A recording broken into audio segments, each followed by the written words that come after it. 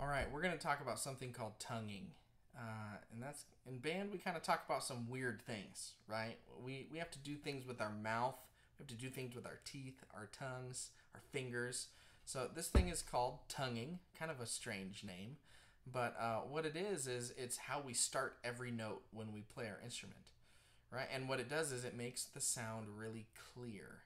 Right? If I was to talk and use only vowels, like no consonants, let's say I was going to say the sentence, the dog walked, or I took my dog to the dog park, right? If I said, I took my dog to the dog park, you can understand what I'm saying. If I only used vowels, I'd say, I, uh, I, uh, uh, uh, right? You can't really understand what I'm saying. It sounds crazy.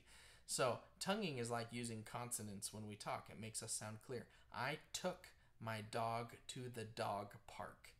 And good news is, tonguing on an instrument is easier than learning how to talk because there's only really one thing you do for it.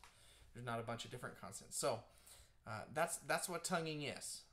And uh, the way we do that is we use a special syllable for the start, the beginning of every note.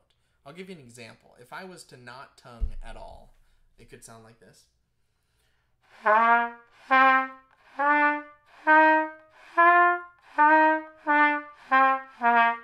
Might say, that sounded okay, but the start of the note didn't sound very clear. Listen to it. I'm going to tongue the beginning of every note now.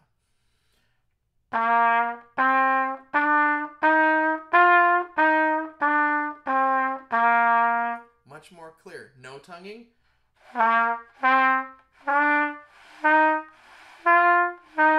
With tonguing.